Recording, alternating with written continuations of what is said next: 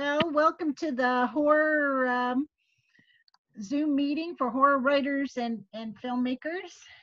So I'm Christine Whitlock, the um, host. And hopefully my uh, power will uh, continue because we've got thunderstorms here. Uh, I'm in Hamilton, Ontario, Canada. So uh, we had uh, six people uh, sign up. So we're expecting two more. I sent them a reminder notice. So maybe we'll wait a couple of minutes. See what happens. Then we can get uh, into uh, introductions and find out what uh, everybody's doing. Just gonna print off something.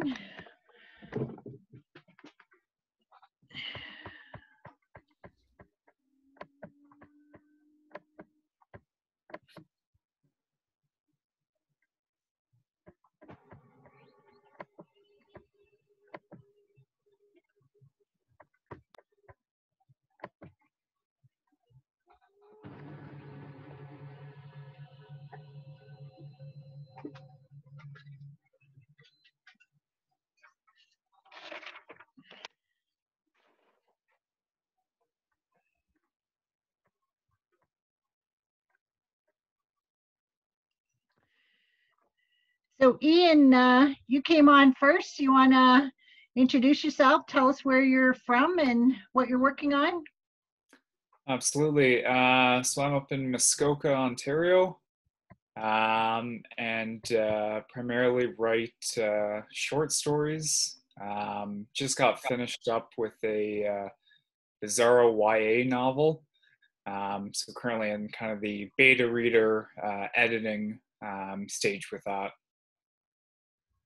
Great. And Kristen, you want to introduce yourself and tell us where you're from and what you're working on? My name is Kristen Shelley Olson, and I'm from Southeast Michigan. I think you have to get closer to your computer. We can't hear you too well. I'm Kristen Shelley Olson, and I'm from Southeast Michigan, Oh, great. the Detroit area. Yep. Yep. And I'm a filmmaker, an actress, and a writer. Oh, great.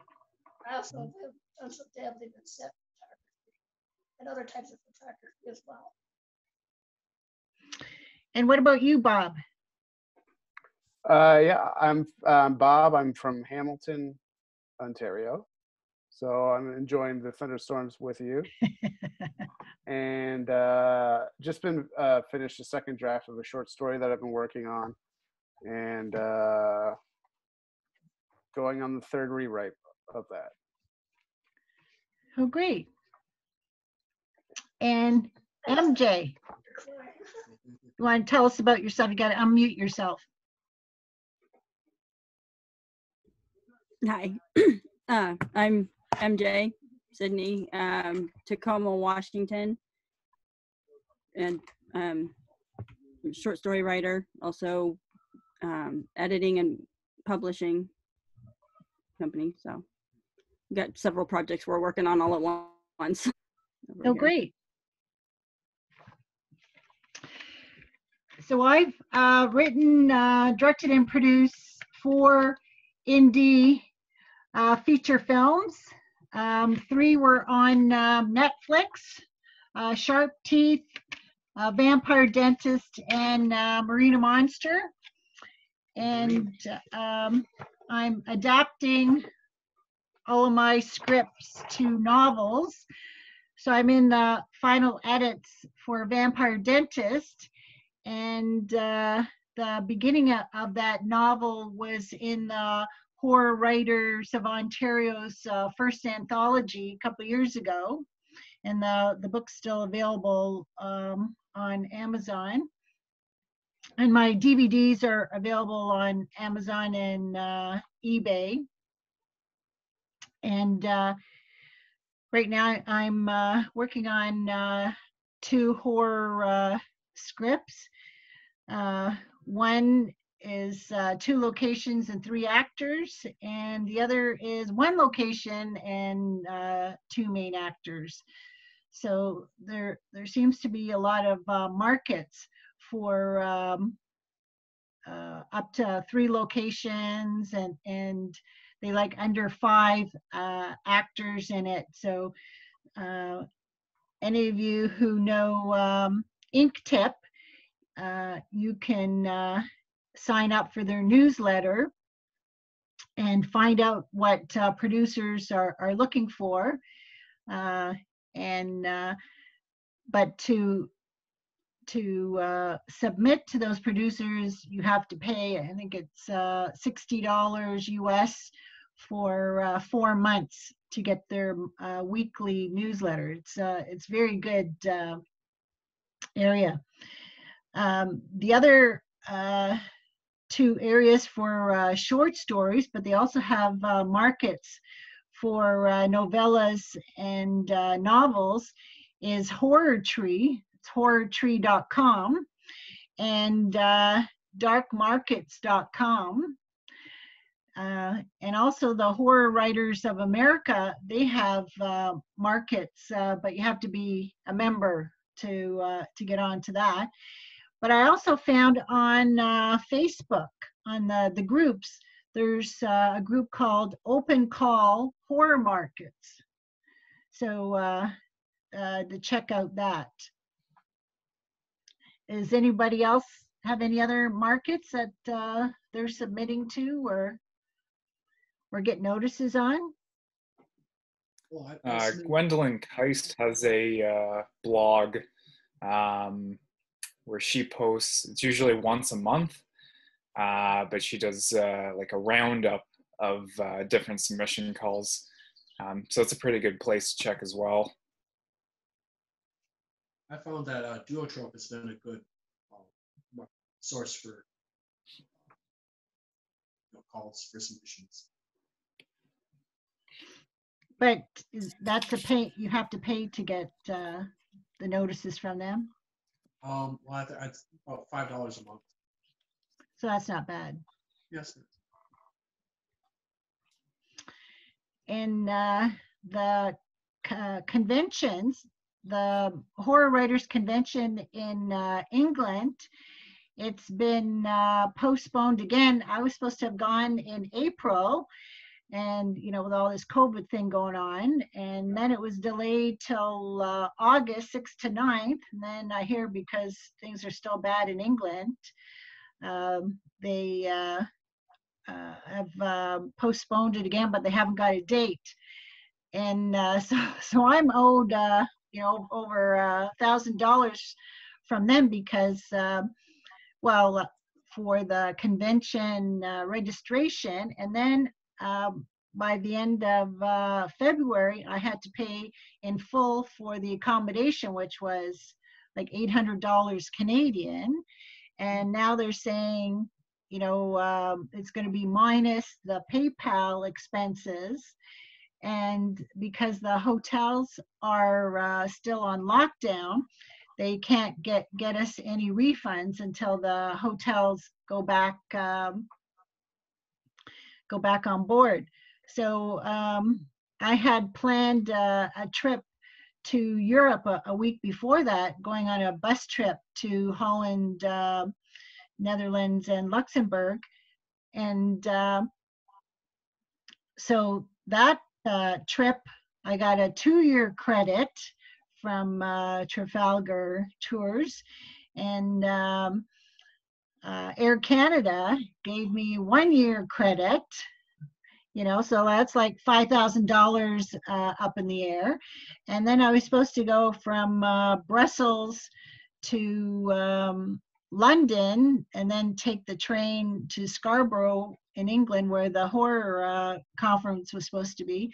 So I couldn't get a credit uh, or any refund for that. So through my travel insurance, I'm I put in a claim to get uh, that money back, two hundred dollars, and they were so inundated with uh, claims. They said that they're so far behind. So who knows when I'm gonna get anything like that. but the next um, Horror Writers uh, Association conference is uh, next year in uh, Denver, Colorado. So they're already, um, you know, uh, telling people about that. But who knows how long this COVID thing's going to be going on because you know they're they're now saying they're expecting a, a second wave in, in the fall Yeah. and then and then the states is having you know major problems in in some states Mhm.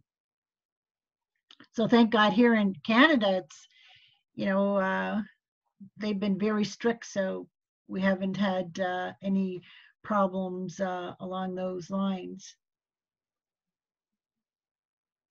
and um today i got uh an email from infolist um and uh, they have a, a free online course. It says micro budget filmmaking, no budget confidential, how to get your low budget film made and distributed. Does, does anybody get that, uh,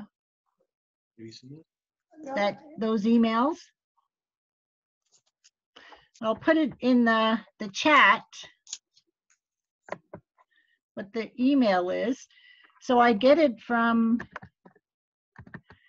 Jeff Gund at infolist.com. So I would check out the, the website and especially this one because it's coming up uh, in the next few days. And they also had recently, uh, this past week, it says horror scripts wanted with unique concepts. So uh, check that out.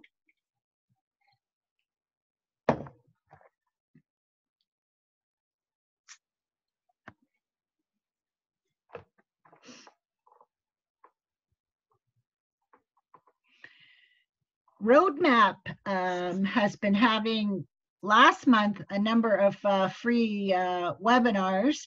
So I would check um, their website, uh,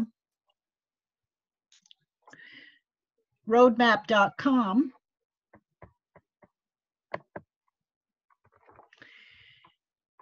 And and in their um, list of events, they have all kinds that are for free of uh, filmmakers and uh, script writers that um, you know have, have made their films and they tell their story how, how they've done that.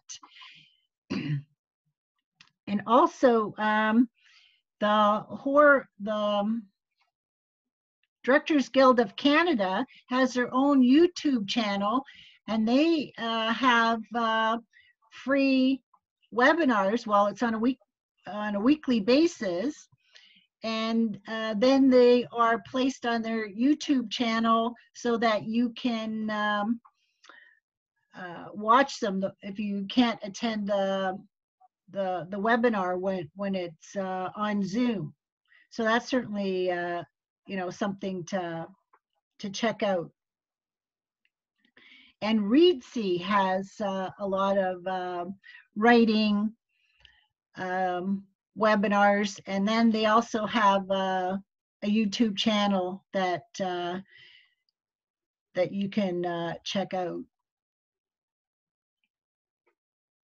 Were you going to say something, Kristen? No, I'm just Ah, I'm paying close attention. Oh, good. So, uh, is there any, uh, situations that, that are happening that, that's contributing for you not, uh, to move forward on your projects besides this COVID thing?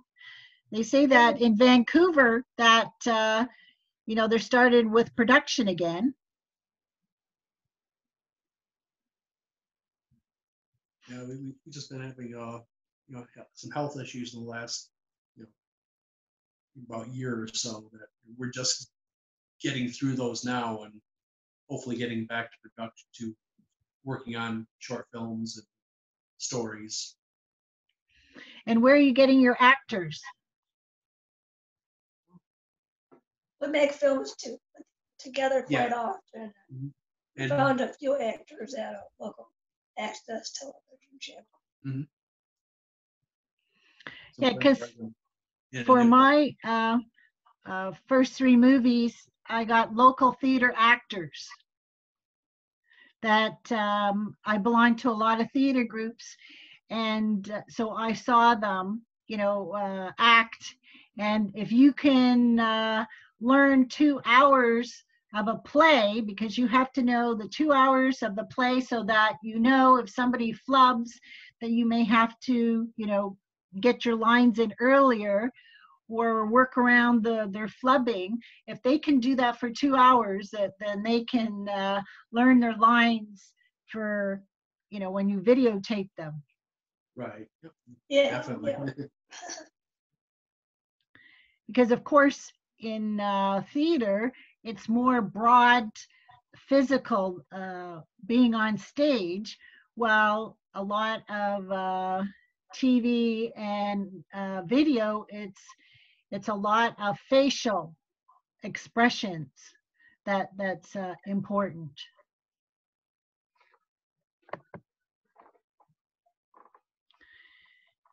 so bob you said you're working on uh, some short stories Yeah, I'm actually pretty new into the horror genre. I'm more of a comedy writer, but this is uh, horror has always been sort of a love of mine. But I've been a writer for uh, you know 20 years um, for various projects and things. Um, and I, I did write a horror script, a horror comedy script with a, a, a friend of mine that we actually got development for, but it just didn't go anywhere And that was six or seven years ago. Um, and so now, since COVID's happened, it's like uh, I've really just wanted to focus on writing. I haven't, I've never submitted to anything, so this is actually kind of helpful for me. and it's interesting because some things are kind of cross genre like um, the two short stories that i've had uh, accepted are kind of you know uh, crime horror Mm. you can say that that they're both uh, uh, the one that just got accepted recently and um, it's not going to be published till the the end of the year so depending on who I have to tell it to, uh, what group, whether I say it's crime or whether I say it's horror. So then when you put it on your, you know, writing resume, you can put horror slash crime for uh, the short story. And and uh, and I was asking when are you getting it published because I've already got other markets that uh, I want to send the the short story to, and that's the good thing about uh, short stories, you can keep selling them. Uh, like the first one that uh, I got uh, published, uh, I sold again in uh, December. So I'm I'm trying to get that one sold again, but there isn't that many re- reprint uh, markets compared to original. And are you finding that, Ian? Yeah. Um, usually, uh, when you see the reprint anthologies, um, usually at a reduced rate, um, or they're looking for something super specific. Um, so it's kind of hard if you've got uh, a story that you've sold elsewhere for it to fit um, kind of exactly what they're looking for in that uh, reprint. and I write a lot of uh, flash fiction. so the the other day on uh, the horror tree, there was somebody for an anthology looking for uh, vampire stuff. So I sent them um, something that was I think 750 words, and then they sent it back saying, "Sorry, it's uh, a, a thousand minimum to five thousand. And uh, thank God that they were also taking uh, reprints. So I uh, sent them that um, start of my vampire dentist uh, novel that had been printed with uh, the Horror Writers Association.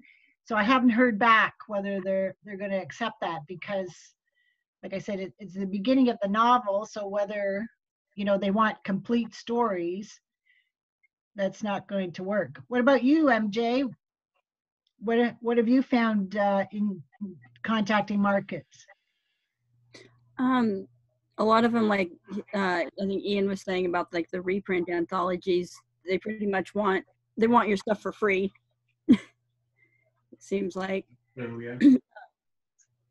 yeah. And then a lot of the other markets, I follow the uh, Open Call Horror that you mentioned, and then several other ones on Facebook also.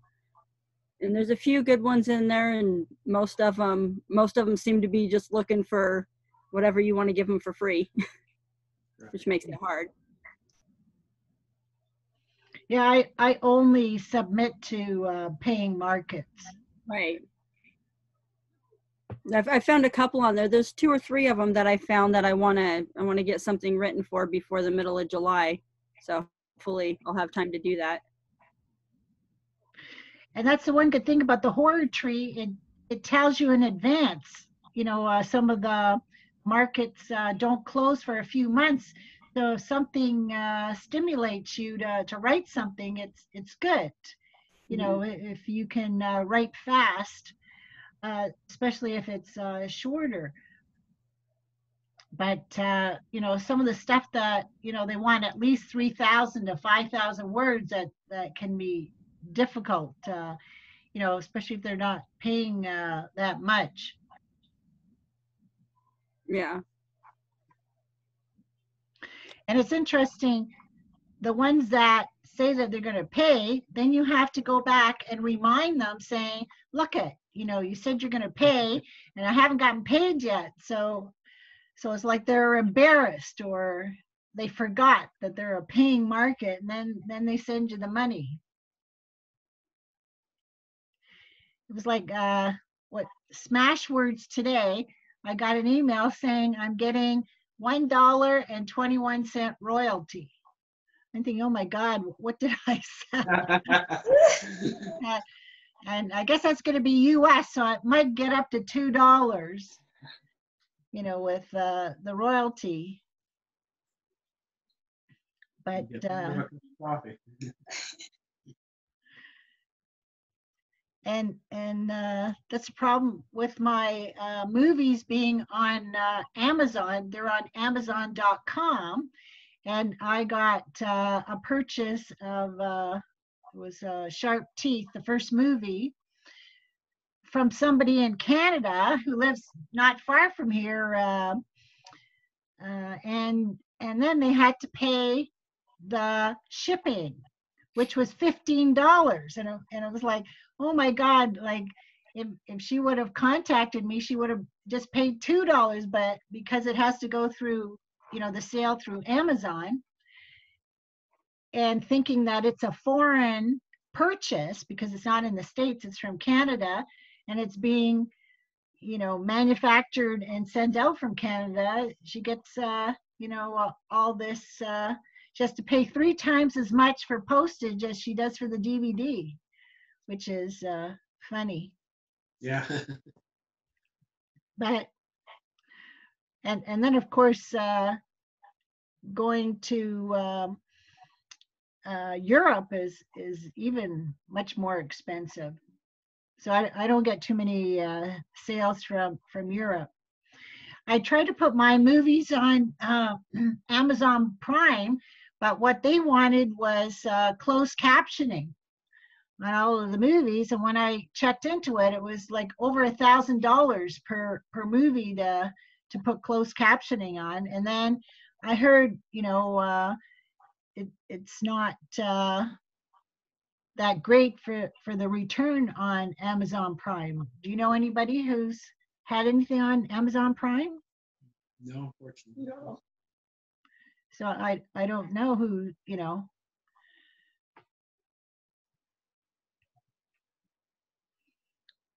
and uh, so listing you know like a, of scripts i have my scripts on um, uh, Script Revolution and on stage 32.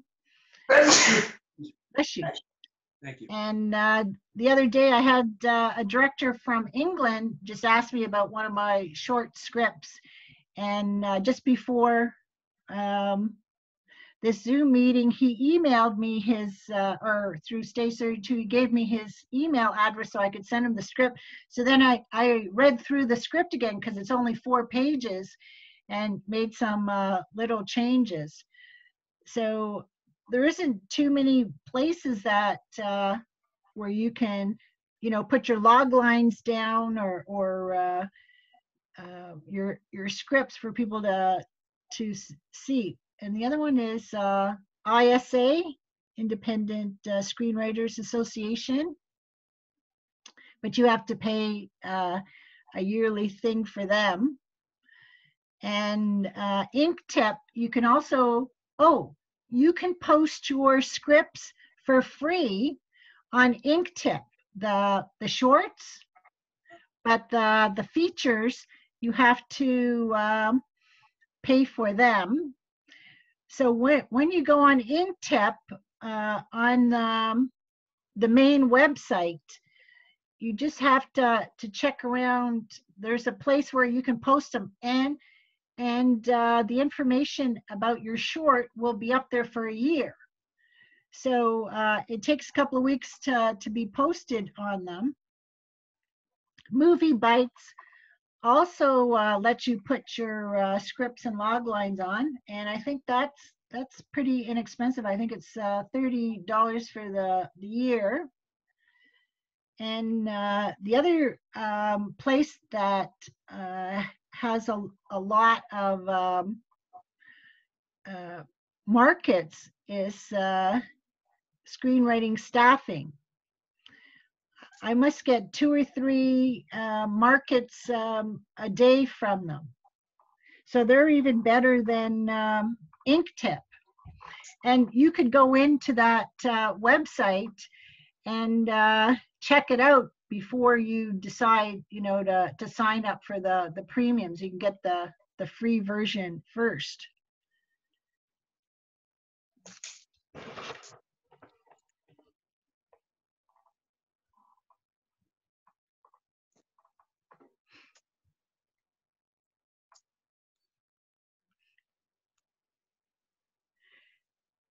So any plans for any future projects that you're working on, Bob? Uh, no, I, I mean, it'll, it'll, I, I kind of want to turn the short story I'm writing into a script at some point, just to have, and, um, but that's, that's what's on the burner right now. So from a short script to a feature script? A short story to a short Oh. script. And you said that was a horror.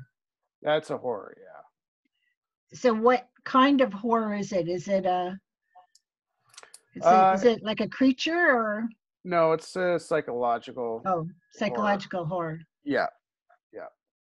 That's what I put it under. Um, There hasn't been any uh, creature features for a while yet. There hasn't been anything new with sharks. I noticed that. Yeah, Yeah. Yeah. There's been no shark movies for a while. right. It's usually there's some every year, but it's been a while. when I made my third movie, which is called Marina Monster, it's about um, a bull shark in Burlington Bay uh, attacking during a around the bay race. In my research, I found out that there are bull sharks in the Great Lakes, and they travel through to Lake Superior because they like it uh, cold and deep. And they are seen a lot at the mouth of the St. Lawrence River. But uh, a- after I did that research, I talked to some boaters in Lake Ontario, and they said they have seen some fins Wow. in Lake Ontario. So a- after doing um, two water movies, I'll never go in the water again. I'm I'm even afraid. Well, after Psycho, I'm afraid to take showers. I have a clear um, shower curtain, And then when I take baths, I like to take baths. I like the hot water. I always think of things coming out of the drains, you know, or that's the problem when you have a horror mind. Yeah.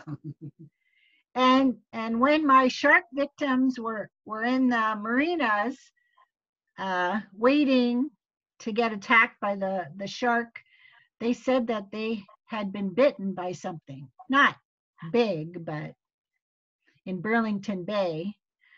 So uh, Bob, you you said you're from Hamilton. Uh, yeah, I'm from Hamilton. yeah, so you know. So uh, uh, at some horror um, convention, I got uh, um, a picture. What is it? Is a lamprey? Is that what they're called? Uh, it, it's like this um, eel with with this big mouth with all these teeth around it. There's supposed to be a whole bunch of them in um, uh, Burlington Bay, and and there was a, a big uh, problem with them at, at one point so that's one of the the horror scripts that i want to continue with my things in in burlington bay and because where i live there's uh, three bodies of water uh, uh, Cootes Paradise, where I made my first movie, uh, Sharp Teeth, and then Burlington Bay, where I made Marina Monster, the sequel. And then uh, and then in Hamilton Bay, we also have have this um, that's going to be part of the script. We have this some kind of um, problem where I don't know if it's you call it a problem, but we have this tar that comes out of the bay, like it isn't from industrial waste, but it's this tar that keeps coming up, and and um, so I have some interesting things dealing with that and, and lampreys uh, attaching themselves to people and but uh, but directing and producing is is very expensive for for feature film so I'll uh, let somebody else do that. Yeah. When is the, the one, when is the one in, you said there's a horror convention in Denver. In Denver, yes, When is that? next year. Next year? Um, it's usually in May, April or May. So I would check out the Horror Writers Association website, Oh, okay. and it's called StokerCon. I've heard of that. Yeah, StokerCon. So like this year, it was supposed to be in uh, England, StokerCon UK. So I would I would put in 2021 StokerCon, and uh, Denver will come up. And uh, usually it's cheaper if you uh, register by the end of this year.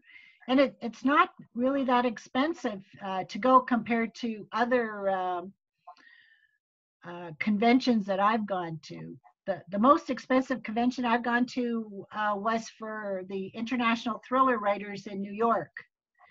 Just to go to the convention was over a thousand dollars. And then if you wanted to go to the rubber chicken dinner for the awards, like that's 250 US. Well, for us Canadians, it's like 1.4, you know, uh, exchange, especially these days and and then i mean you get a deal on uh, the hotel but you know with all the taxes and, and all that kind of stuff i think it was i think i went uh, wednesday to saturday it was like $3000 for the the hotel you know and then $1000 for the convention and then you know airfare and food because only uh, some of the events gives you some nibbles. So you have to have uh, food.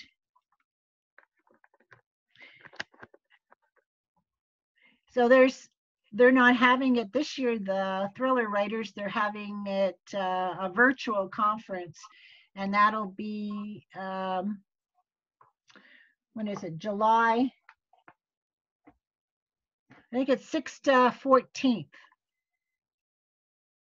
so there's two levels of um, of of registration.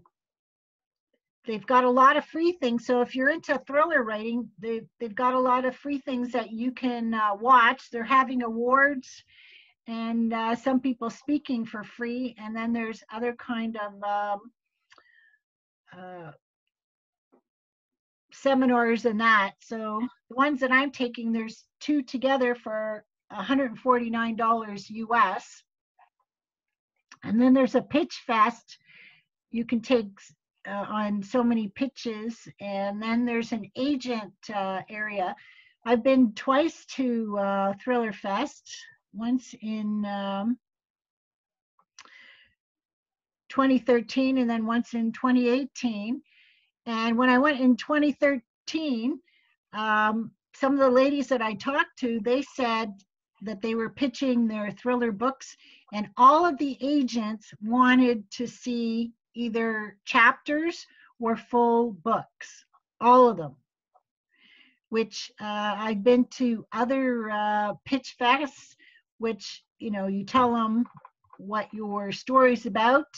You know, you got like five minutes to pitch them, and then thanks, goodbye. You know, but uh, with those agent pits, you have to you get a longer time and it seems with the thrillers they're uh, very open to um, getting more in that genre and then today on facebook um, they had i guess it was an ad that there's this company looking for ghost writers but it didn't have anything to do about uh, horror writers but it had a lot of thrillers in that. So uh, I'll have to find that. And if you want me to send it to you later, and uh, the, do you know anybody who's done ghost writing? One of um, like I also run two uh, monthly Zoom meetings for script writers. So uh, one of the ladies there has done a lot of uh, ghost writing, but she says it's mainly business and nonfiction books set that she does. But I haven't heard anybody doing ghost writing, ghost writing, haha, for horror books. Yeah, I haven't heard anything about that either. But, you know, but and they're not none of them are children's i haven't heard of any um, children's books or series coming out you know along um, the lines of now all of a sudden i can't think of that gentleman's name remember who had that series of all those kids books Oh, R.L. Stine. yes r.l stine you know how I think that was middle grade books. Yeah. I haven't heard of, of anybody doing a similar kind of, seems more fantasy. More fantasy series are going on than than horror for middle grade. I That- used to read those a long time ago. I used to read those books a long time ago. Jarl Stine. R.L. Stine. Yes, and he's one of the founding members of the International Thriller Writers. So he was at the conventions uh, the couple of times that I was there. And then in, in 2018, it was, I'm terrible at names. Um, the gentleman who did that um, Game of Thrones series, which I, R.R. Martin? Yeah, our yeah, Martin. George R. R. Martin. Yeah, George George R. R. R. R. Martin. Yes. Yeah, so he was the guest of honor um, at the 2018 Thriller Writers, which I kind of thought was a bit weird because I didn't think Game of Thrones was really thrillers, but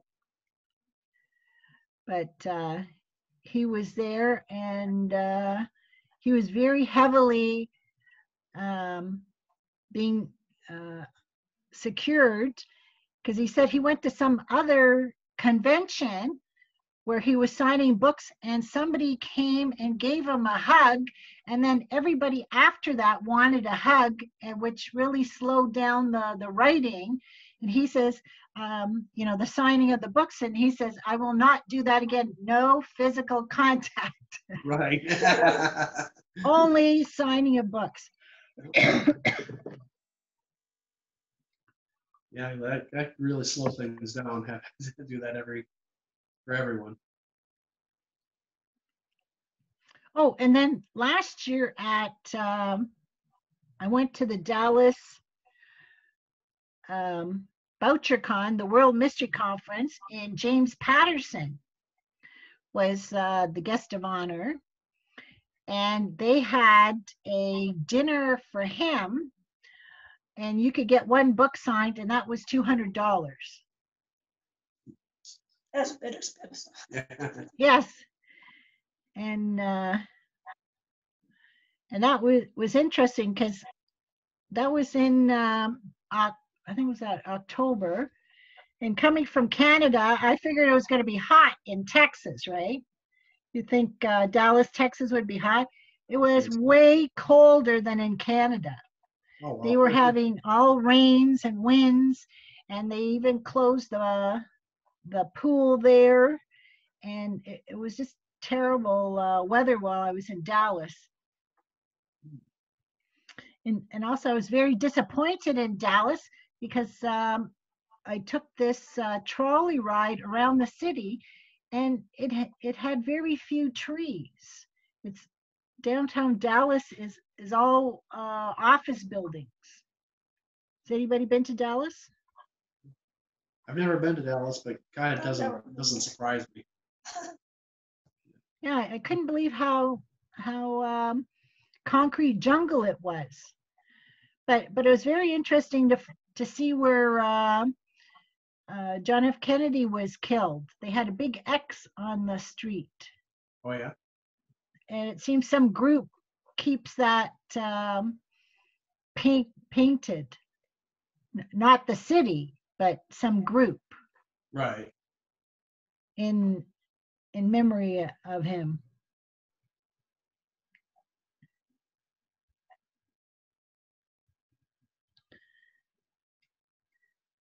So, have do you have any other uh, resources uh, to share, MJ, from where you are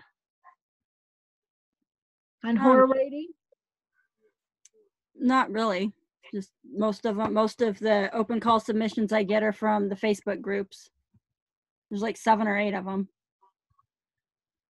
that are because they're free. and People post them, so that's where we post a lot of our stuff too. So And what about, do you use that um, horror tree or dark markets?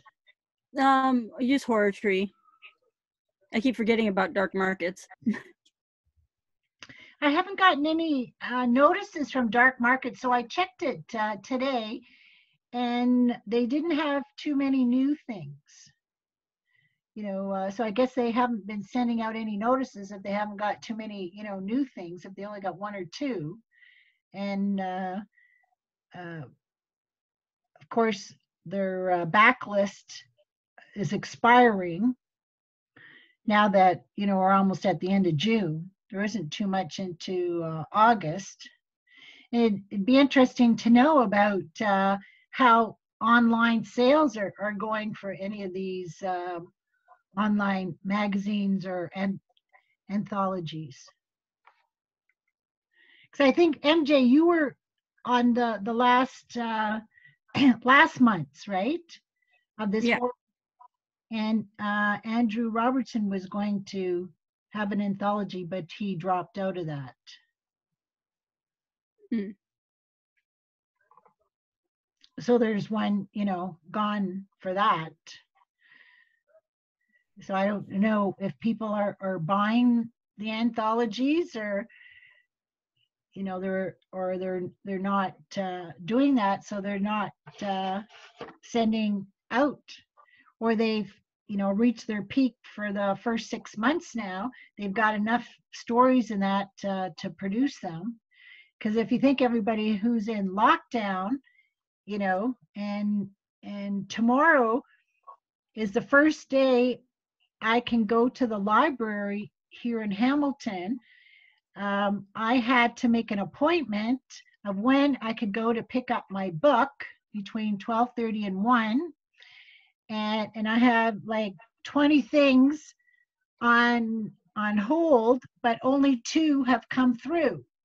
Hmm. So it's like, oh my God, so I have to keep, you know, making new appointments, uh, reservations for, um, to pick up all these other books. You know, instead, I guess you can't go in and, and look at any of the books or any of the DVDs or CDs or anything. You, you have to make everything on reservation. That sounds like a real hassle. Is your libraries open where you are?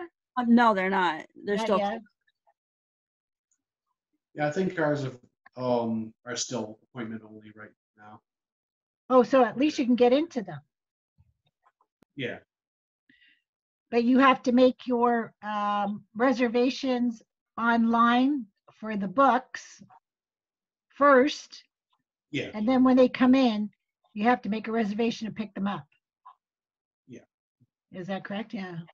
that's about, about that. Because, you know, if this continues, then, it, you know, I hate to think that's going to be the norm. You know, how, how are you going to, you know, um, check on things? You know, like some people like to look at the book and, and uh, read a bit about it and, you know, be, because my my husband isn't very uh, computer savvy, so I'm ordering books for him, and and then he can't remember which James Patterson's he's read or not, and and he today the the malls have just started opening up, so he he went to uh, Eastgate in our town, and um, he says he wants to buy a pair of shorts and a shirt, but he wants to try them on, and they won't let them try them on. Oh, yeah, they, they, they closed the, um, I The think- Waiting room, the dressing rooms. Yeah, they closed up. And and he says with men's shorts, you know, it's it's uh be- because they're manufacturing them in, in all these different countries, they're not all the same size. And I says, well, can't they measure around the waist? Because he says 32 is could be too tight and 34 could be too big. So, but he was happy. He went to Sports Chek and, and got uh, two pairs of shoes. I guess they let him try them on, the shoes. So Yeah. he got them on sale.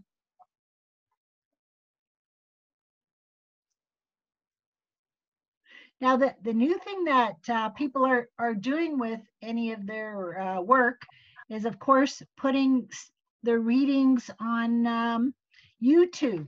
Well, I have my trailers for my my movies on uh, YouTube, and of course, this is going to be on uh, YouTube on my YouTube channel. So my YouTube channel is Christine J Whitlock. So uh, tomorrow it'll be be out, and um, I'll send you all uh, the link. So this will be posted up there uh, unedited. My films, our films are also on YouTube. Yeah. They're on your YouTube channel. Yeah, Mhm. Oh, great! for Kristen Shelley. You should um, post it in the chat. Kristen Shelley also. Po- post your um, See if I can figure out how to do that. Is that at the bottom? There's uh chat Oh, and I you see. can, I got it right here. Well, I'll have to look at that in a second. but that's uh, something new. If you've got um, a good microphone on your um, laptop or whatever tablet that you're using, and then uh, read an excerpt from your book or or a bit of your short story, and uh, post it on your YouTube channel because right now YouTube channels are free. Yeah. And then some of those channels, oh my God, so many advertisements. And, Oh, I and what I can't stand is on regular television, besides the advertisements every few minutes, they are now putting advertisements at the bottom of the screen while you're trying to watch the program. Yeah. That's that's unbelievable. It's like, and plus you're paying for your cable. So you you pay in the states for a cable service for your television. Yeah, we have, we have cable Yeah. Like we have in in Canada. through.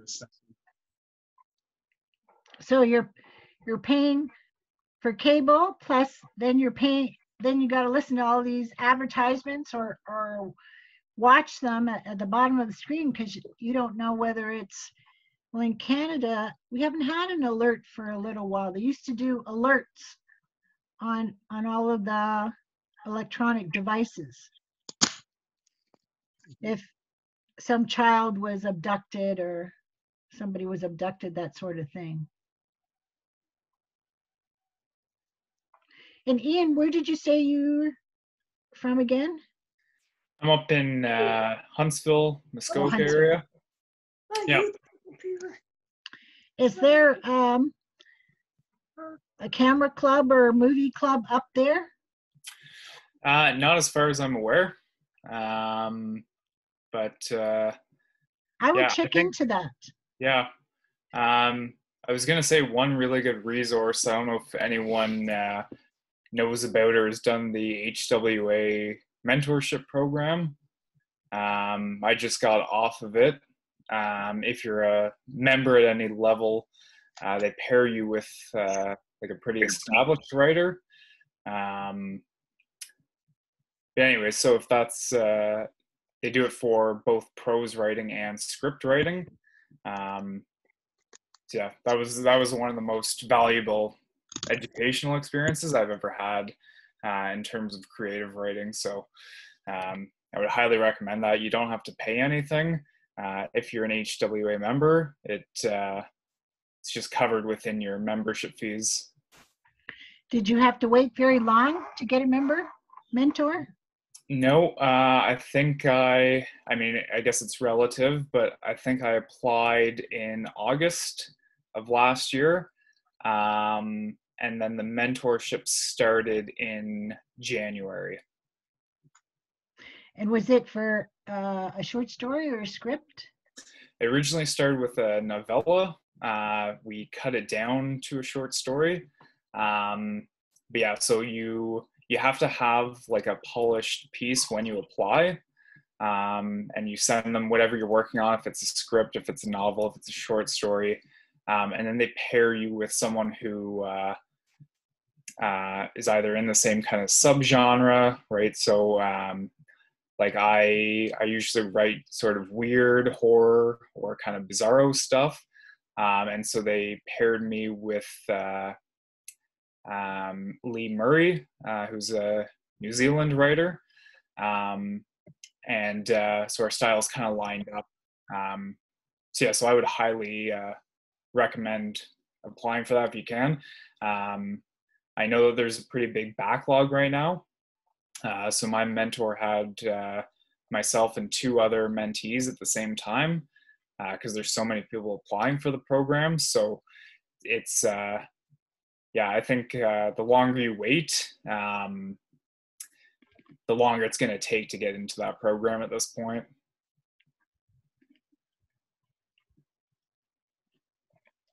So Nick, have you been turned into a dark roast coffee? Or can we see you? Nick has just come on board. You can unmute yourself. Mute, start video.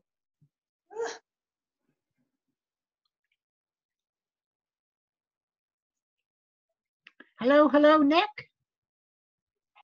Oh, there he is. Hi, sorry, a little bit slow to, to plug my webcam in there. No Uh, problem. So if you want to introduce yourself, tell us uh, where you where you live and what you're working on. Uh, I live in Toronto. Um, currently, uh, just working on getting by, but uh, helping a friend collaborate uh, a little bit on her first uh, horror movie. Um, that she's trying to figure out how to uh, script and shoot entirely from home. So I'm trying to guide her through that. So is this a short or a feature? It's her first short that she wants to test out the concept for and then see if she can develop it into a feature. Um, she's never really produced on her own. So, uh, and we're both horror aficionados. And so we both are kind of helping to flesh out her concept a little bit. Um, yeah, that's it's in the beginning stages right now. And what kind of uh, horror is it? Uh, isolation horror, obviously, because of what's going on. Uh, she wants to be able to uh, shoot it. Uh, found footage, uh, uh, isolation horror movie with some supernatural, um, like demon possession elements at home. But she wants to use it as a launch platform or a testing platform to try out different horrific gags that she's seen in other horror movies. And so she keeps coming to me with questions of, Nick, uh, I'd, I'd love to, I'm an editor and visual effects artist. And so she keeps on asking me, so how do I chop a person's head off? How do I, how do I do this without bloodying up my house? What, how do I do digital blood? And so those are the most of the questions I get every day. And so this is going to be shot hopefully like in a house? in her house. Yeah, she. Uh, uh, unfortunately, she lives with her husband, but she is, the, uh, yeah, with. um, she's also one of the one of the unlucky people who are uh, are susceptible to to the virus, and so she really has to stay in. So she's going a little stir crazy. So she's trying to funnel that into uh, her the, the character of her uh, of her horror movie in, in my uh, first horror movie, Sharp Teeth, my uh, brother-in-law uh, allowed us to uh, shoot uh, in, in the company he was working at uh, on the weekends for their office scenes and, and also in, in the, the parking lot. Oh. And then um, my se- second movie, and I guess third, uh, another uh, person I knew let me shoot in in uh, their business offices, and um, uh, a lot of the Vampire Dentist, which is about a 24-hour uh, dental office, humans during the day and vampires at night. So they're in this uh, dumpy warehouse, and so the the back of this business was this warehouse uh, area with you know an old uh, couch and all kinds of uh, crates and all kinds of stuff. And and so we made it into this uh, dumpy um, dental office. So knowing people is is uh, is very important. Figure out all all the friends you have uh, and and where they can let you film oh yeah and and my first movie my aunt let me film in her living room and in Vampire Dentist, we filmed going up the stairs to the attic where uh, I used to live sometimes with, with my aunt as, as a child, depending when my parents split up.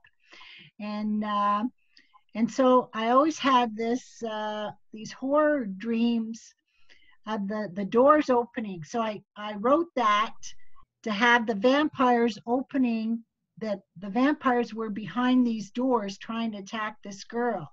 So that was, that turned out into the movie. So, you know, watch out what you dream about or what you experience as a child that, you know, you can put into uh, movies.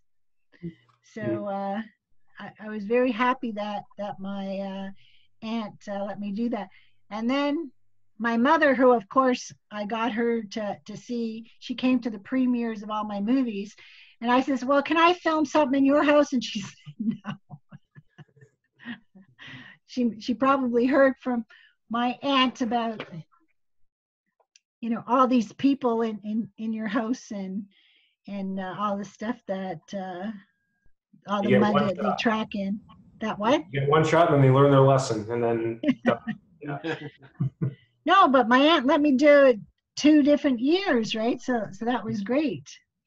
But- And then uh, then that finished with with that. So so you have have to be um, friendly to all your relatives and friends because you never know when, when you might want to, to use their backyard or shed or or whatever to to film in or basement or whatever or or need them to make cookies or you know make the coffee Mhm. because that that's what I I've told anybody in filmmaking. You got to give them the three C's. You know, like everybody doesn't care about volunteering as long as they get the three C's. So craft, good food, credit, their name on the the credit list, and a copy of the movie. And and I got into uh, a big fight with with my cast and crew because I, I had uh, a hundred cast and crew with the first two movies, and about 120 with the third one because we had a lot of sailing uh, boats because we were filming on um, uh, Burlington Bay for the shark movie.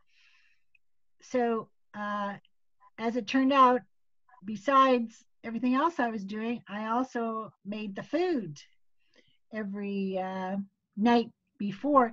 And I used to get those little tiny croissants, cut them in half, and and put uh, uh, different uh, cold cuts in them.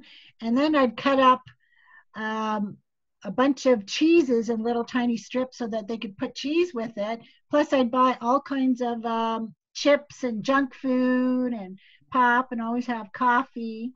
So everybody was very happy. So the one time I did not bring the uh, little croissants. Oh man, there was a revolt. You know? So uh, you have to watch what, what you bring for food to your. So junk food is very good for keeping up their sugar and their salt intake. I found like those party trays. I buy her the grocery store. They got those party trays. Oh yes, Plus, uh, lunch meats and the cheeses. and the yes, yes, I just put two of those. Everybody was happy. yes. Yep, and and uh, cookies and little things like that. Hmm. Because you're just feeding them well, feeding them lunch. I mean, we would start early, but I'd make sure that we were finished like by five o'clock, six o'clock the latest, because no way was I gonna pay for dinner. You know, every we would Yeah. just shoot on the weekends, and uh, you know, everybody would. Uh, we usually just shot uh, one day a week on on Sunday, so that people could get get home to, for their dinner. So if I had a bigger budget, I could serve them something better.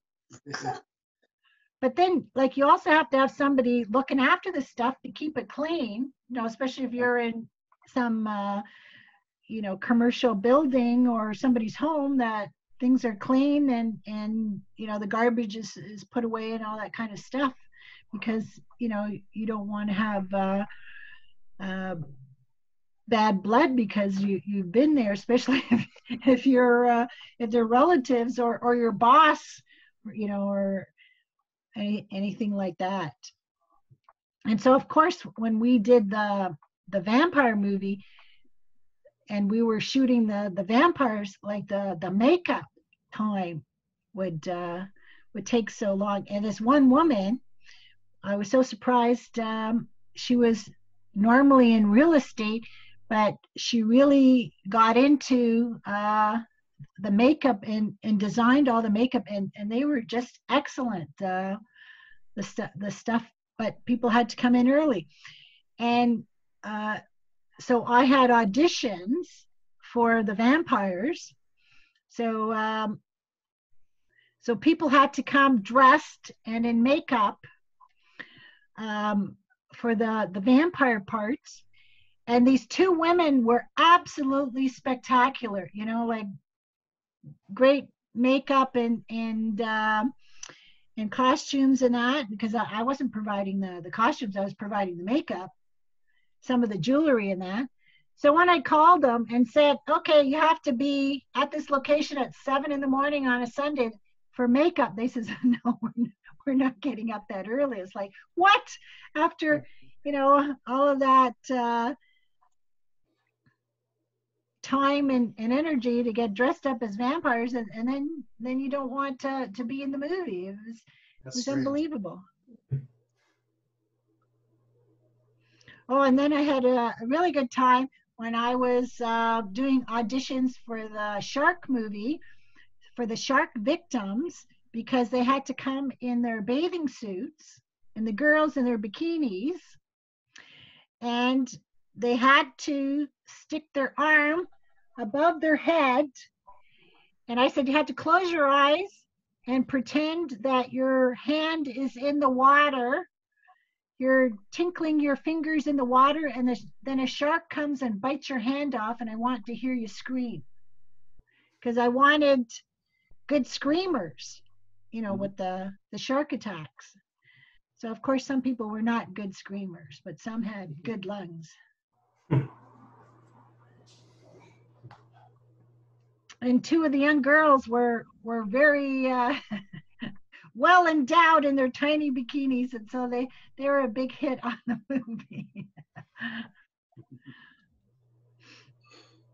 So i have lots of stories about making micro budget indie movies.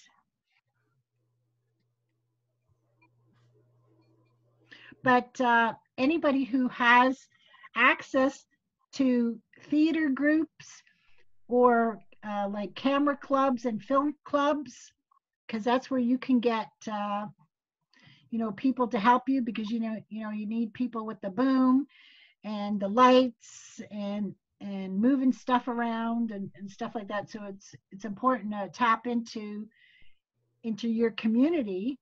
And you know uh, especially if you know people who are going to be wanting to do their own movies later on you know okay you help me now and then uh, i'll help you later so nick you said you do some of this professionally Yeah, uh, yeah. Um, uh, I've been editing uh, horror uh, horror movies for the uh, I don't know a long decade, I guess. Um, uh, mostly low budget, micro budget ones. So the ones that tend to have a lot of stories that happen on set. Um, uh, yeah, a lot of like creature features and you know the, the, the blood and guts ones because those are the more fun ones to do. Yeah. and and these are all visual um not practical blood and guts these these are all Mostly practical. oh, Um, mostly practical Yeah, the company is uh, called Black Fawn Films. They make a lot of uh, uh, fairly gory, uh, pretty creative horror movies, but they tend to do a lot of employ a lot of practical uh, effects artists uh, and uh, stuntmen to do their gags live on set, and because you know it's pretty complicated and pretty uh, pretty expensive to have to go in post and you know do it that way. So uh, yeah, a lot of their gags tend to, to be based on the traditional uh, blood and guts gags of horror movies from the 80s and 90s. Um, from you know people punching you know their you know fists through people's bodies or uh, you know demonic dogs that uh, you know rip people to shreds uh, or uh, one one movie that uh, we that I worked on called Bed of the Dead um, ended up uh, one scene involved uh, you know what seemed like a swimming pool's worth of blood being dumped onto two unfortunate actresses that were on the the title bed you know, the, you know this demonic bed which is a giant you know ginormous bed. Um, possessed by a hellish demon of some kind um, so we had one shot one shot only to release this vat of blood in slow motion on top of these two actresses and uh, we made good use of that shot throughout you know for in the trailer in the movie itself um, we got it good, but uh, that was you know, one that yeah, was pretty fun to be on set for. And is um, Chris Giroux still involved with the company? Chris Jones, Giroux. Giroux, uh, yeah, yeah. Uh, Yeah, he- Giroux. Giroux. Yeah, he was my cameraman on Marina Monster. Oh, get out of here. yeah, uh, he is. Um, I think in a different capacity. He's still part of the company, but he's also producing, directing much of his own stuff. Uh, I think largely music videos and stuff. Um, but uh, yeah, I remember hit Chris. He was a pretty solid guy. Yeah, that's uh, um, he helped my uh, DOP a lot. He was uh, the cameraman, and uh, um, I spent three months on Burlington Bay filming boat races. Um, they would have boat races um, twice a week on Tuesdays and Thursdays through the Royal Hamilton Yacht Club. It was supposed to have been through them and the Burlington Sailing and Boating Club, but uh, their committee boat uh, had some kind of problem, so we couldn't use it. So we could only use a Royal Hamilton Yacht Club. And I said, can my cameraman, which was Chris, can he come on board every night that we were out and film the boat races? And they said, as long as I was there for the whole season, I guess from May to October or whatever, on the committee boat to run the races. So I ran the races for however long it was going on. And uh, so we got absolutely tons of, of footage. It's like, oh my God, uh, I can make some more, uh, you know, water movies from uh, all the, the footage I have. that's, that's the one thing with filmmaking, you know, that, uh, and with special effects, you can put different uh, coloring or effects to it and, and, and change something that people may have seen and, and it looks entirely different. Yeah, like uh, uh, doesn't Troma Films do that? Um, Troma Films, uh, they I think for the last twenty years they've reused the same. Uh, there's a shot of a car exploding that I think they've managed to rework into every single one of their movies. They just recycle the same shot over and over again somehow in their movies. Well, well, this is it. With special effects, you can make it small or medium or large, and and then make it spin or whatever else, right? With special effects, and it's the the big expense is in the initial shooting. Yeah. So why not, you know, keep keep using it over and over again? Yeah, get your money's worth.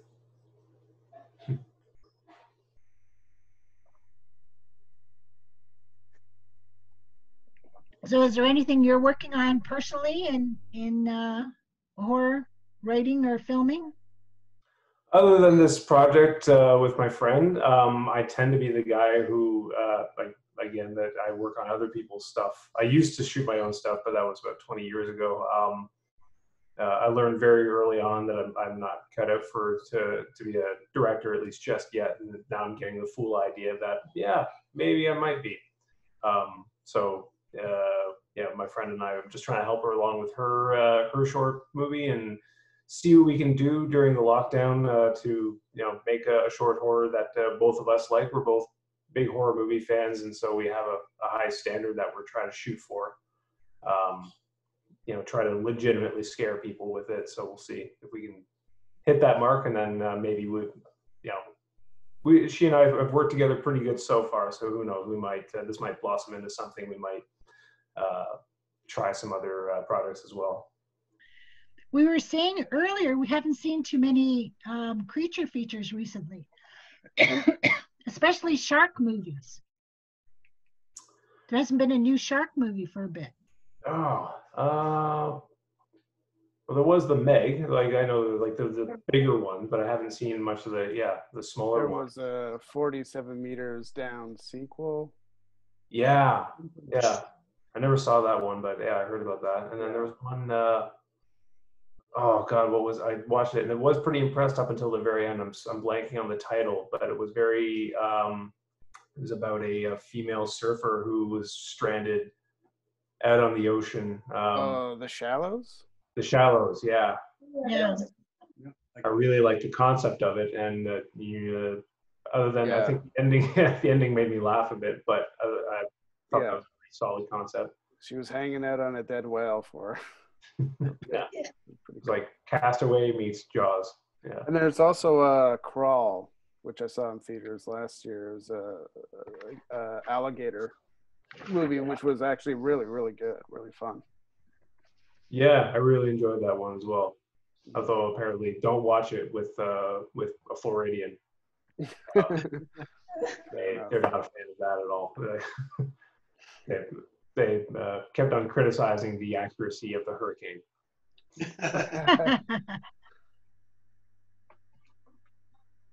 and what about vampire movies? Has there been any new vampire movies lately? It's been a while since I've seen Yeah, that. it's been quite a while since I've seen. Oh. Not unless you count the uh, what we do in the shadows series.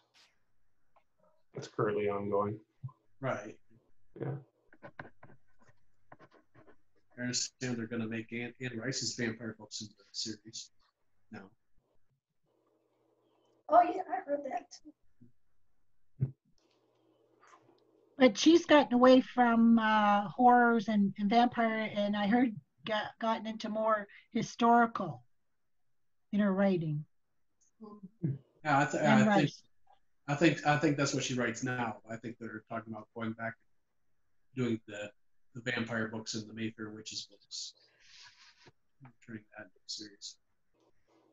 And and what about a Stephen King novel? Is any anything going into production for anything Hmm. that he's been doing? Nothing new. I'm hoping he does something new. soon. I mean, other It's one of my o- other than the fifty that are probably in production right now. yeah. The Stand. I did see uh, a friend of mine shared it with me, but he had tweeted something recently about uh, a, a, a horror novel or something that he wanted to write, but probably never would, which was going to be Jason Voorhees, where it was called I Jason. It was going to be oh yeah, he's talking about Oh, I he wanted saw to that. Yeah. yeah, which I think would be amazing if he did that. Mhm. Oh yeah, it would be. Because they keep saying that the the studios like to do sequels of of things, and then when they can't think of a sequel, they think of a prequel. hmm Yeah. So you Yeah, know, that happened. That's you Halloween for sure. I feel like. Mhm. And when they can't think of a prequel, they just reboot it.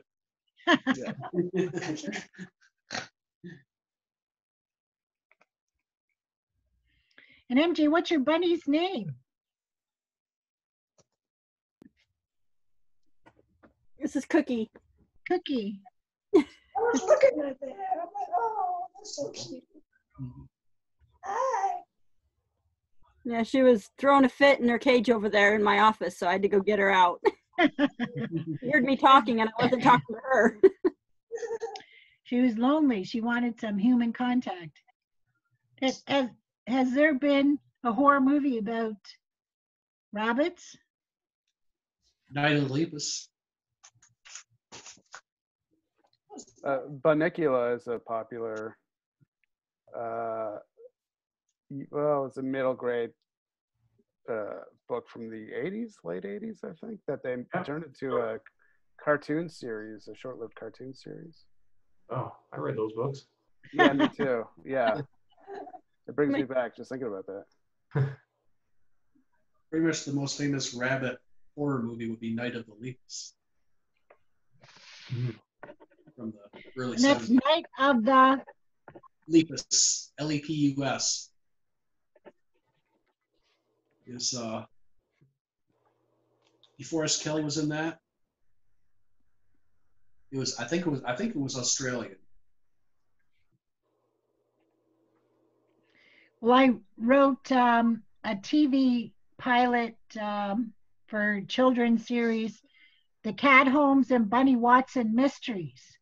And uh, I've uh, also uh, adapted it to a book that I'm trying to sell. Because I had a rabbit, I think, for eight years.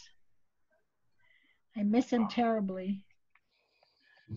I have two cats, but he, he was my boyfriend. and- and made you, uh, but my male cat is is so jealous of the the girl. He's so possessive of. He'll whack the the girl if she comes near me. Oh, Jesus. And he's 19 years old. I never knew animals to be so possessive. Yes. And and I think birds out in, in the backyard when you watch them, they look like they're possessive and jealous and you know territorial out there. Mhm. Other than Alfred Hitchcock's birds, has, has there been anything with birds? Birdemic. Oh Lord.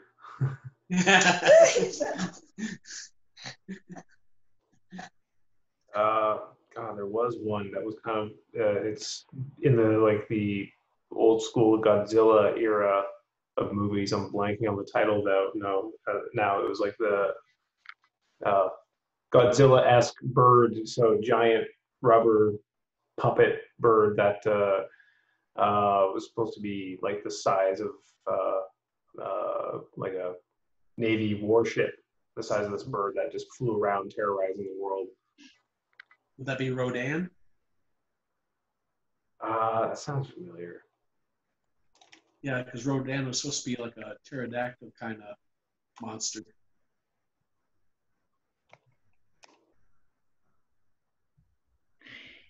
And Guillermo del Toro, um, is he working on something these days? Any horror? Hmm. Because he he's done a lot of filming in Hamilton, and um, uh, was it uh, last week when I had my scriptwriter uh, Zoom meeting? I was asking uh, one of the producers because I was told that uh, he was planning to buy a film studio here in Hamilton. Oh, wow. I remember word was a while back that he was building some studios in town uh, in Toronto here. I'm not sure if that ever happened, but I knew that he was really he took a liking to to Canada in this area, so he was trying to move a lot of his production up here. I went to his exhibit at the Royal, at the Art Ga- Gallery of Ontario. Had an exhibit of, um, I guess it's like Man and the Monsters, and uh, and I got his book and a T-shirt, and uh, it was a- it was a good exhibit. It showed a lot of his props and and things and paintings from his house.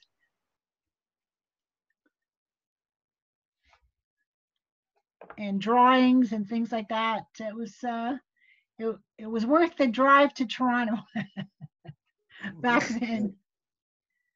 I tried to get uh, early um, Sunday morning because uh, Toronto's uh, um, well, it's what 75 kilometers from uh, Hamilton, but uh, it can take you three hours to get there during rush hour. So uh, I only like to go like first thing Saturday or Sunday morning when you know you could take you uh, 45 minutes to an hour and 15. But uh, well, but uh, now of course it's. I don't know if the the traffic has picked up. I know going to uh, Niagara, my my husband he goes to visit his uh, mother once a week in Vineland from Hamilton. He says uh, the traffic's really picked up. It's back to normal here. So, so Nick, uh, is the traffic picked up in Toronto?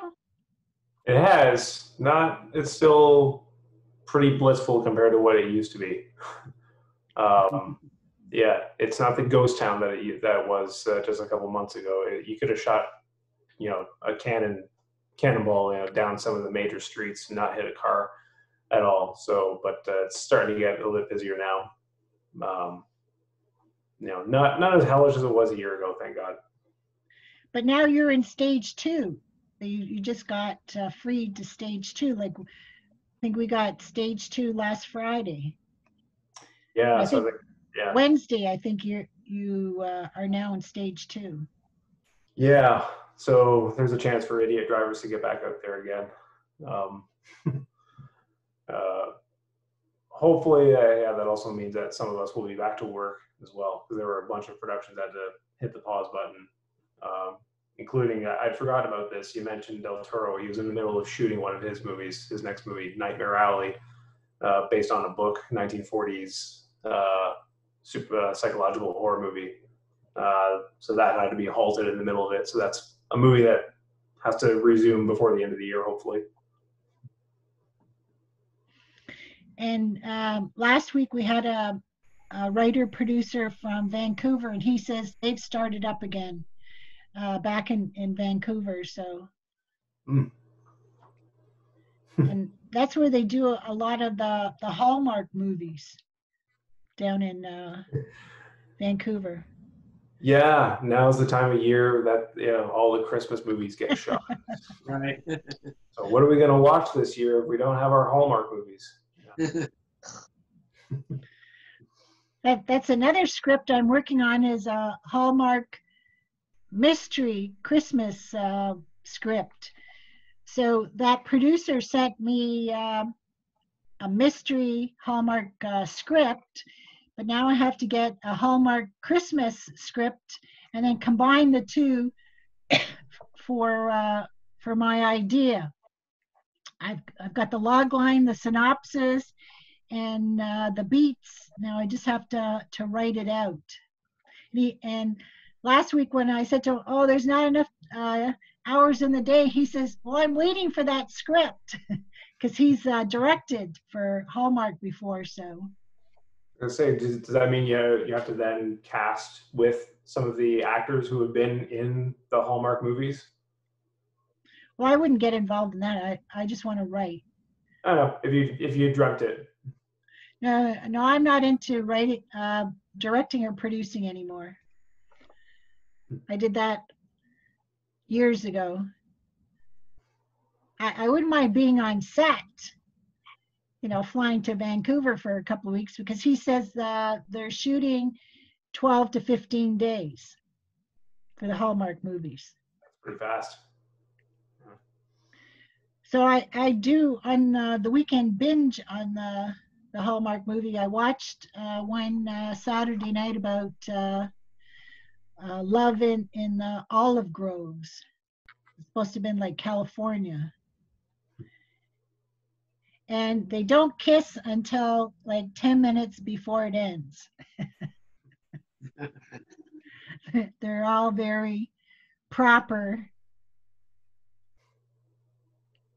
but with the with the mystery one that I'm writing, well, the one I I'm proposing, it, it doesn't have a murder. It's got uh, all of these uh, uh, thefts through it.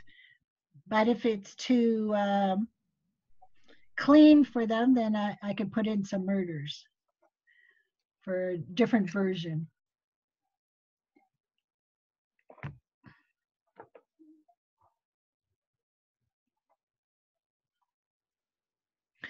And then um, for uh, courses that uh, uh, are going on, uh, Ubi, Udemy, that's, uh, I, I don't know if that's just Canada or, or that's uh, in the States too, Udemy, do you have that?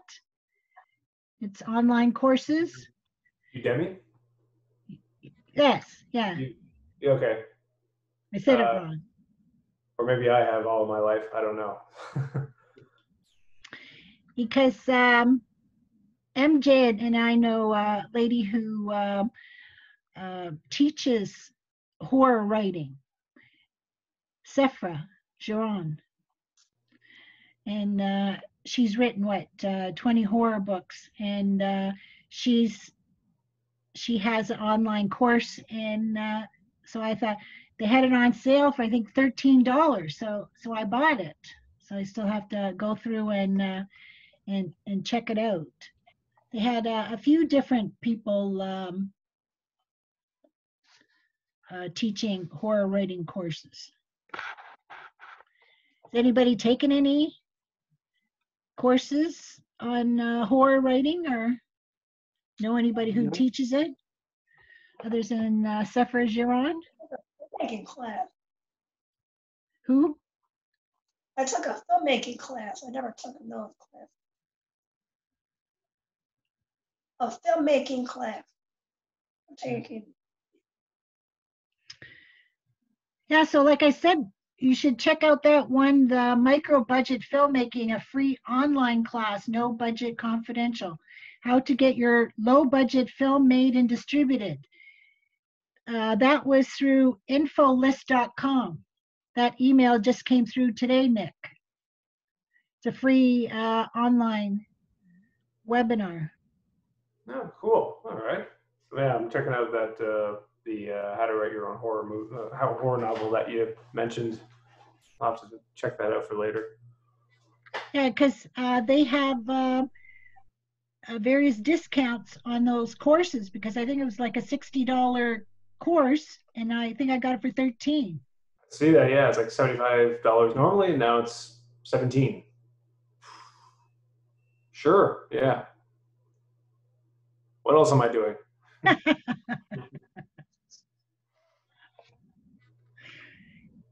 Well, this might be the time that you want to consider doing your own course, online course. Can you? On horror special effects. I would if I knew what I was doing. I thought you've been doing it for twenty years. Yep, still learning. Oh yeah. Yeah. Well, with with our technology, it's continuous. Yeah. uh, actually, yeah, I wasn't. Uh, I've always been aware of Udemy, but I actually haven't uh, been on it in some time. Um, so I didn't know that uh, like a, a course like that existed. I'm wondering what else there is now. So I'll, I'll probably be going down that rabbit hole this evening just to see what else there is. Um, But you, as an editor, Nick, uh, how is how is the uh, footage that they're getting from um, cell phones? You know, they said they're making these movies with cell phones. Yeah, I haven't I haven't gotten a fully cell phone shot movie yet. However, oftentimes when they've uh, a lot of the the movies that I have worked on, um, they have a very limited time to shoot, so they you know shoot in 20 days frantically, and then uh, if later on they have to go back and shoot a pickup shot of some kind, sometimes all they can afford is a phone and you know a light and the director, and that's it. So uh, if they can do it, then you know, rather than you know pay uh, someone you know a thousand dollar rental fee for their their equipment and uh, you know trying to assemble the crew again, going out with uh, the latest Samsung phone is just good enough. So I'm waiting for anybody, the next brave filmmaker who wants to shoot their entire movie on a cell phone. That's why actually uh, my friend you know she said uh, yeah my phone's good enough. I'm, i think i'm i'm just going to shoot with the cell phone. I, I said that sounds like a challenge. Let's do it. It can be done. But what about when it's blown up? Like, uh, can it be blown up for uh, some you know, phones. theater? some phones yes. Um, uh, i can't remember. Someone uh, a filmmaker uh, from australia sent me some footage recently that he wanted me to look at. And uh, i have to double check what the uh, what the phone model Yeah, is are frozen, are we frozen? but it's Oh, uh, the footage that came in was just as beautiful as you know some of the some of the most cinematic stuff that I've had you know uh, sent to me for these movies. Uh, and I would trust in it very much that if you blow that up to theater screen, it will it'll hold up. So some phones, yes, not every phone, but some phones are doing really really well with uh, with how they're shooting footage now.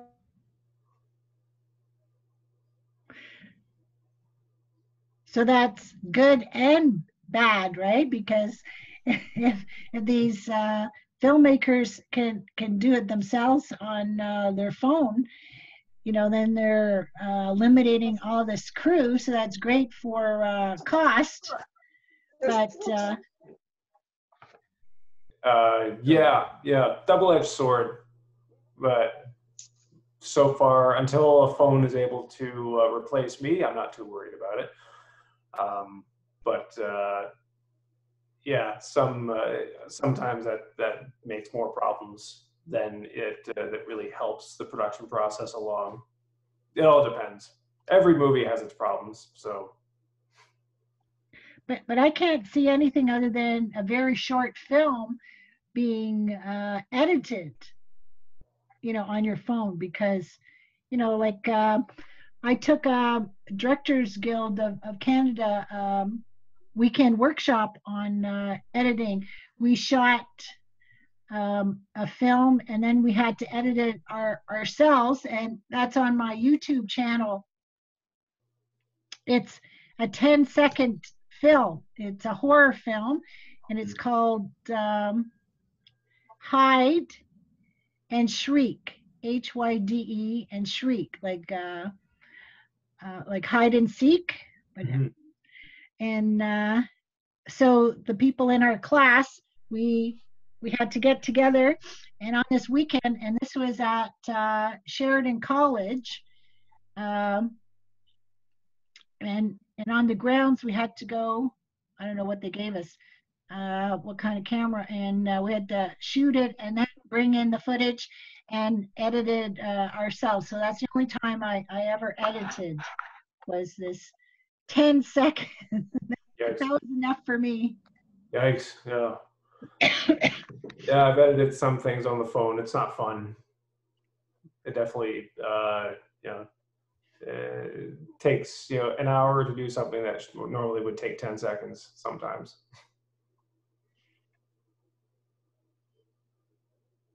and I had said earlier that the Directors Guild has their own uh, YouTube YouTube channel, so um, you should check that out because they have uh, other directors and uh, filmmakers giving uh, weekly Zoom meetings. I know there's one uh, tomorrow night, and um, and the other ones um, are on uh, their YouTube channel. I can't watch one tomorrow night because I'm watching one My Sisters in Crime. That, that's a problem. There's all these uh, associations are having these uh, Zoom meetings or webinars, and and especially if they're free, you know, I, I like to take advantage uh, of uh, as many as I can, especially if it has to do with uh, writing. unfortunately, you know, I haven't heard of any uh, with the the Horror Writers uh, Association, and that's why I'm doing this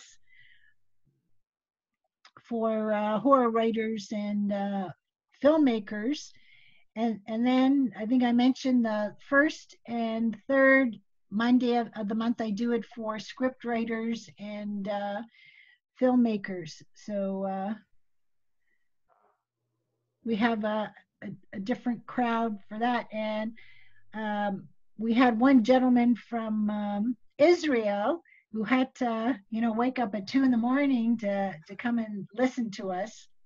So that was interesting, and and uh, I'm posting these notices, you know, on Facebook and and LinkedIn and Stage 32. Is there any place else that I should be listing this?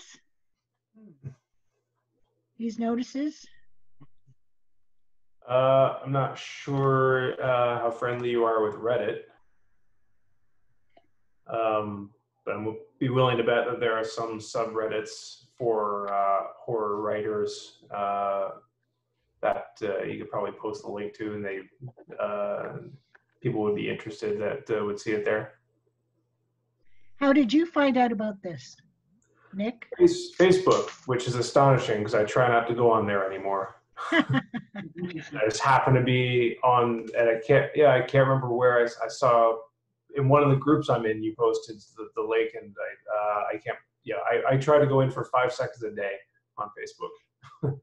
Uh, and somehow I saw the post and, and thought, yeah, that sounds like that sounds interesting. So you got me for my five seconds a day. You got me.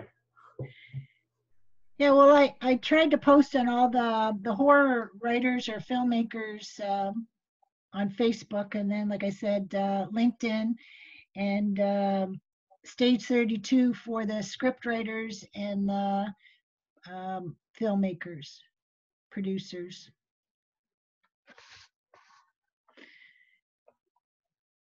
Because uh, last month, when I did this, um, a gentleman that I I uh, knew came on board, and he said that his director was looking for a horror script. So the the one horror script I'm working on, um, I had uh, sent him the synopsis, but I haven't heard back, so I'll have to follow up with him on that.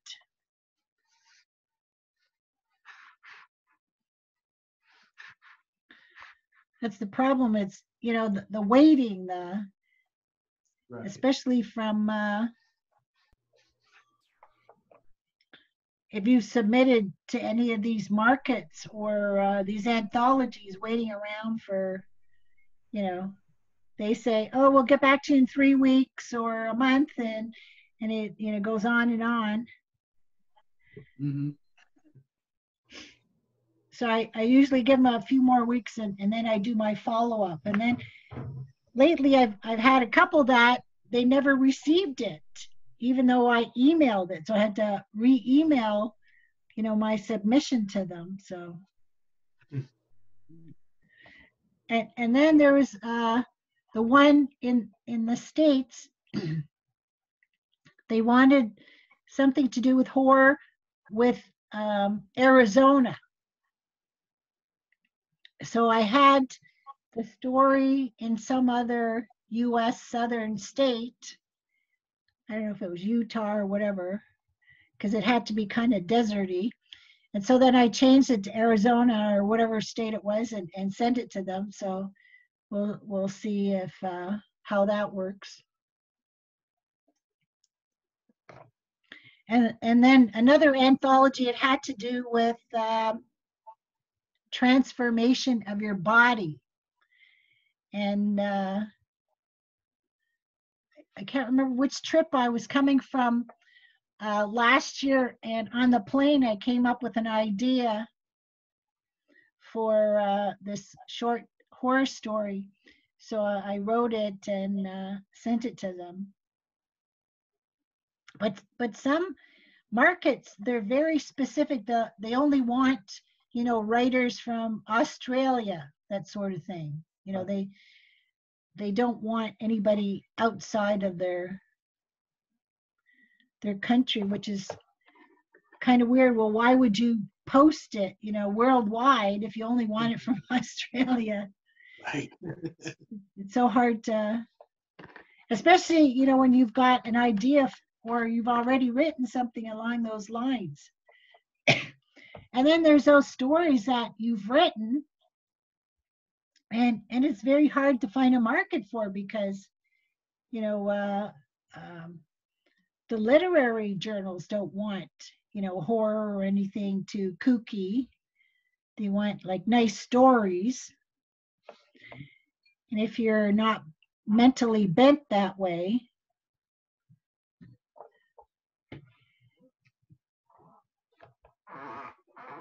because my my uh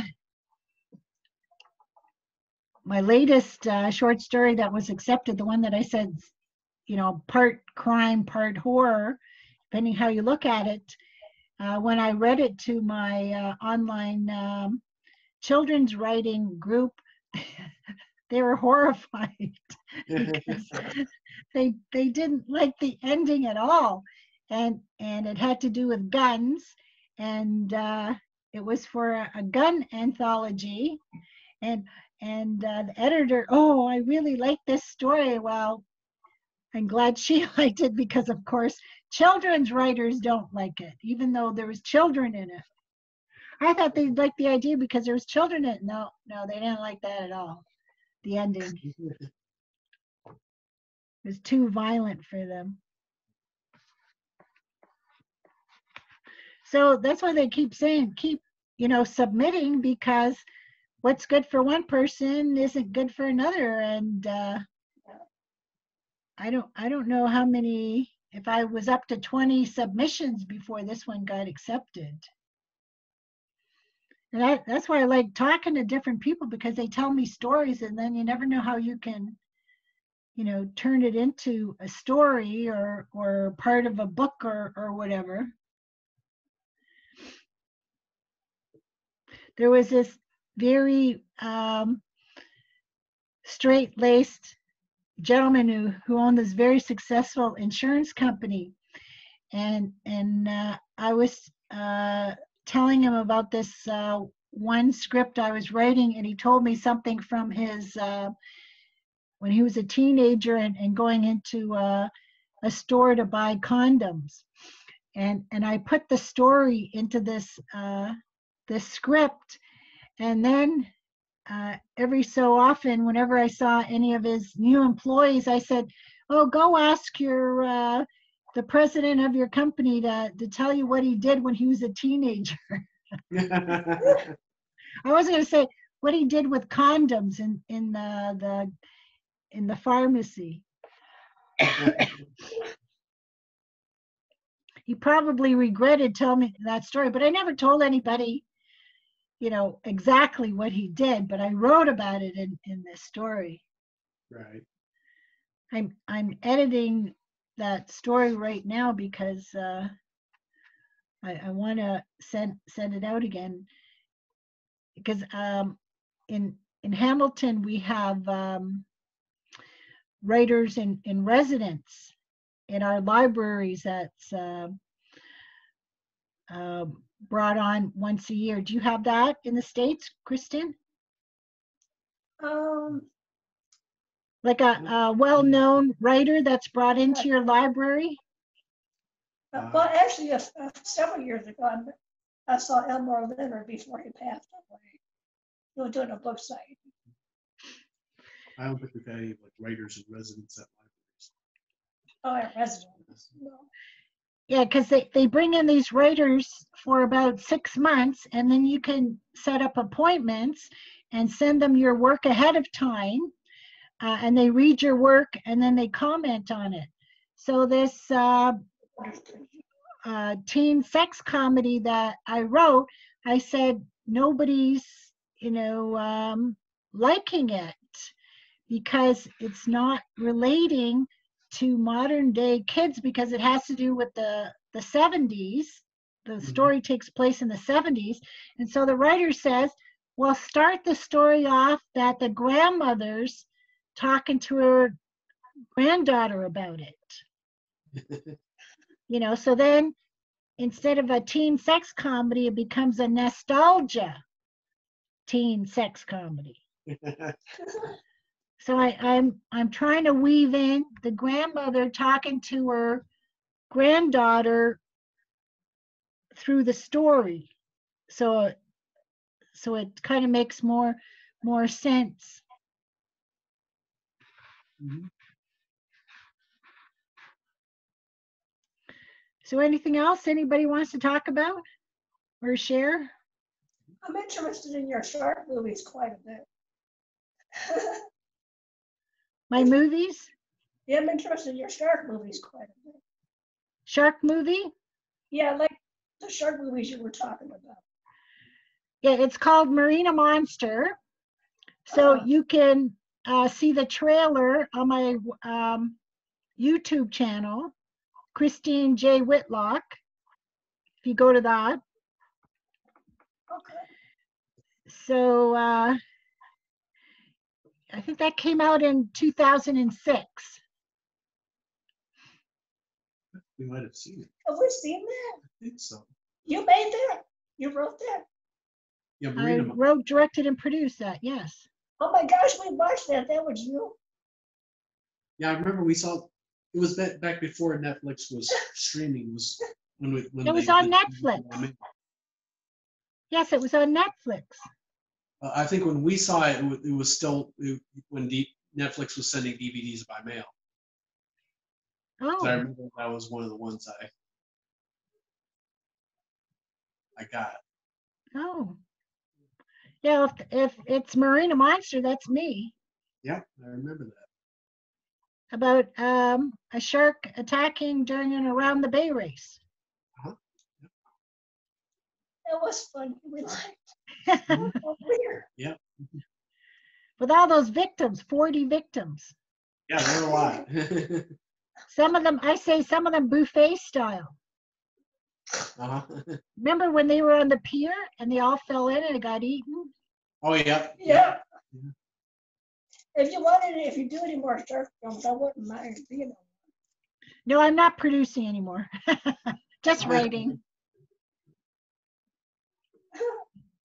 Well, that's what I was saying about uh, writing. The sequel to that would be with that lamprey eels. The, those eels that have that big teeth in their mouth.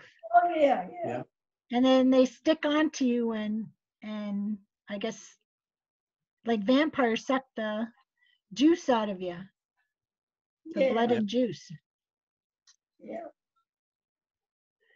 Well, it's interesting to find out somebody who's got one of my movies. I know, it's pretty. And and I have a cameo in that movie during the barbecue scene. Okay. Oh, At the end, they have a an awards and and a barbecue scene. mhm. So I, I'm the the person who's uh, doing the barbecue. We'd have to look at it. Yeah, again. it's, it's been, it's been at least 10 years since we've seen it. Yeah, So well, like I said, that came out 2006. yeah.